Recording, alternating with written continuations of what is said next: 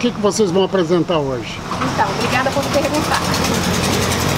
É, hoje nós vamos apresentar um dos primeiros projetos que nós criamos, que está dentro da Associação Essência Africana, é o Revelando Beleza Negra. Esse é o projeto de empoderamento para dar visibilidade e inclusão sociais para jovens negras afrodescendentes. Nós vamos apresentar hoje um desfile afro com uma performance para fortalecer a cultura da cestaria e relembrando os tempos dos guerreiros na época é, é da escravidão, é, os guerreiros africanos, antes de ser retirado das suas tribos. Ok.